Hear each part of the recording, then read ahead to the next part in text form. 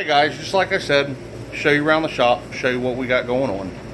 Uh, right now, I have an old dining room table. That's where I do most of the work.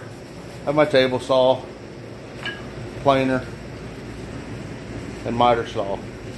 Also got the bandsaw and drill press. What we plan on doing is in this area right here where the toolbox and air compressor tank is, we're gonna delete this center post. We're gonna build a six foot by six foot outfeed table and assembly table. One side is it's going to have four large cabinets with drawers along the top. The other side is going to have two large cabinets and two banks of nothing but drawers. That should give me plenty enough room to cut any size wood I need to.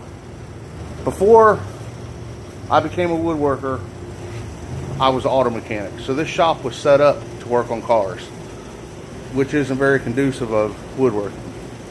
I did have the little hangout area over there with the old diner style seats. All that's going by. I do have most of the wood, which is three quarter inch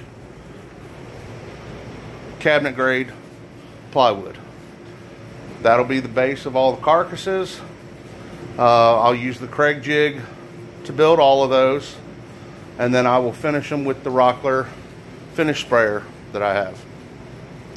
This is going to be a work in progress. It's going to take a while.